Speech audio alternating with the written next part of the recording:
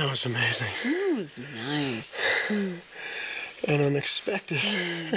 Hmm. An hour ago, when I offered to buy you that glass of wine, I didn't know what a good investment it would be. I don't waste any time. Me see something I like. Hmm. Get out. What? I mean, it's time to go.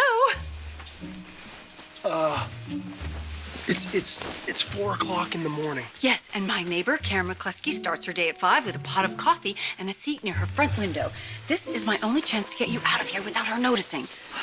Who cares if she notices? I do. I have a certain reputation on the street, and I don't want to become the subject of idle gossip. Now, come on. Well, uh, thanks again. This this, this was terrific. Ah, yes, here are your pants. Thanks. Uh, really love to see you again. Oh, that's sweet. Don't forget your jacket. It's quite chilly out tonight. I'm serious. Let's do this again. How about Friday? Oh, I'm afraid I'm busy. Wh- Thursday or Wednesday? Can I at least get your phone number or your last name? So that's it. You're just going to kick me out. I am so sorry. Where are my manners?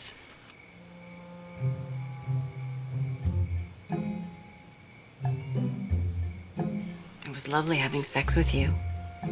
Have a wonderful day.